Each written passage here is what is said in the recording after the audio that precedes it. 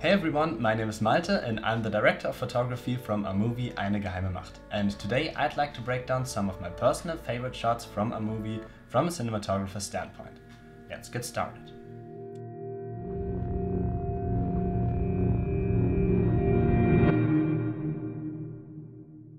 So the first shot I'd like to take a look at is one from the Danu council scenes.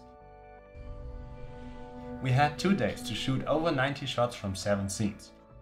What we did on location first though was removing all the chairs, since that particular location is usually used for concerts and other sorts of events. This shot right here, for example, was shot in the afternoon of the first day of shooting.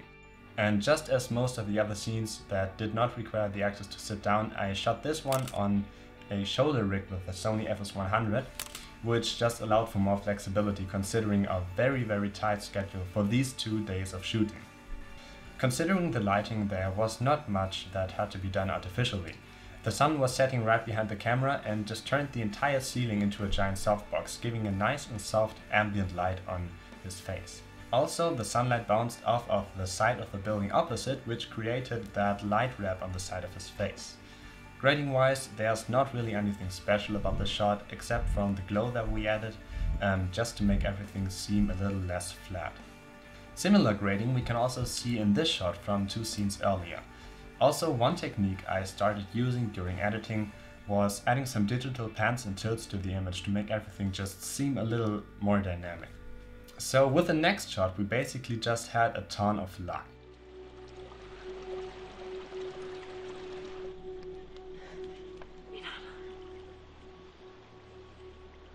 We were shooting on a spit of land next to a river, and there were a few people camping back there, just a few hundred meters away from our location. And for whatever reason, they did not manage to light the fire properly. So there were those fumes of smoke slowly gliding across the river, just creating this really nice and almost magical atmosphere. This was also shot on the Sony FS100 with a 35mm lens and here you can really see the character of the lens with the image and the bokeh just warping as you get closer to the edge of the frame. Since the sun had already partly set in this shot and we were in the shadow of some rock formations, the brighter parts of the sky just casted their lights on our actors which once again made for a beautiful hairlight. Now for our next setup we moved down into Flandy Illur's lair. Na, wenn das nicht meine allerliebste Lieblingsjedi ist. Und das bestellte Unkraut hast du auch mitgebracht. As you might or might not know, spoiler alert, Inanna returns to Flandy to rescue her sister but gets captured in the process. So we get to meet Flandy and she's just that crazy person hiding in the vault below her castle. And to express that craziness visually, we went and pretty much just grabbed the ugliest color gel that we could find from my kit and therefore lit the entire location in purple and pink.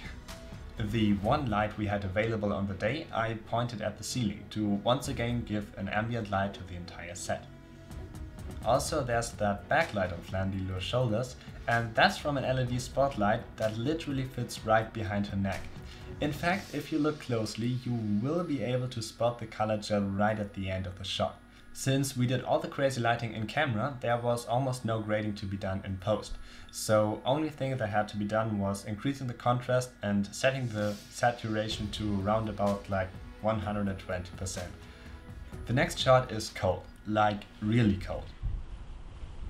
Wir werden sterben, nicht wahr? Nein, sie werden uns nicht erfrieren lassen.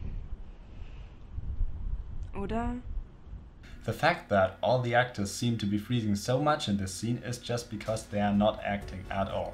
We picked a very windy location in a watchtower in a nearby castle and on the day of shooting the temperature went down to like minus 10 degrees Celsius. The lighting was once again mostly powered by the location itself. By placing our actress in between the two windows we had one side of her face lit by a reflector placed just outside the frame right here and then her left shoulder illuminated by another window right here. Grading wise, I pushed everything towards a bluish tone to make you as the viewer really just feel the cold that our characters experience as well. So there's one more shot to go, and this one is from scene 8, where we get to meet Inanna, our protagonist, for the first time. She meets a secret informer and gets to know where she has to go in order to find Faina. Hast du? Bin mir nicht sicher. Ich werde zwar schweigen, ich kann nur Vermutungen anstellen. If we look at the original footage, everything looks really flat. The magic of this shot truly relies on the grading. Increasing the contrast had Inanna's informant fall into darkness. Since the FS100 has a dynamic range of 10 to 11 stops, Inanna's face unfortunately blew out, which was a necessary evil to keep the details in the shadows and on the face of the informant actress. But adding some glow fortunately decreased the very harsh contrast between Inanna and her informant. One nice detail also is if she bends forward, there is that little catch light in her eye, which just adds to her mysteriousness. But looking back, adding some haze into the scene or just a little more light on the face of informant actress really would have improved the shot tenfold. On the cinema screen, this was actually perfectly fine, but if you watch this on a normal television screen or even on a mobile device, I'm honestly not really sure if you'll be able to spot Inanna's informant back there hidden in the shadows.